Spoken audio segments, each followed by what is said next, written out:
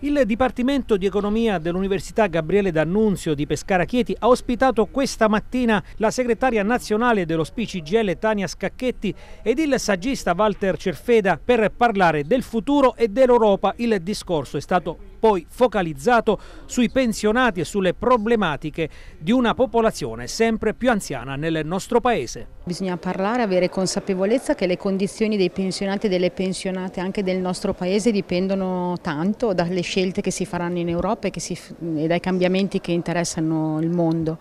Eh, L'Europa non si comporta benissimo con i pensionati e le pensionate nel senso che è un continente che sta invecchiando molto, che deve riflettere sui cambiamenti demografici, che deve tornare a essere l'Europa dei popoli, dello Stato sociale, investire sulla sanità, sull'invecchiamento consapevole e positivo delle persone, eh, significa spostare un baricentro dall'Europa dell'austerità all'Europa l'Europa invece dei diritti. Eh, un po' le scelte che sono state fatte nella pandemia, eh, che è stato invece un grande rilancio dell'Europa dei popoli e dell'Europa sociale e quindi crediamo che parlare oggi di Europa alla vigilia di un voto significativo significhi anche provare a orientare le nostre persone rispetto all'importanza di schierarsi verso quegli schieramenti che chiedono quell'Europa sociale e non un ritorno ai nazionalismi. Ecco, lei parlava di quello che è il vero problema, l'invecchiamento della popolazione che in Italia va più velocemente rispetto ad altri paesi.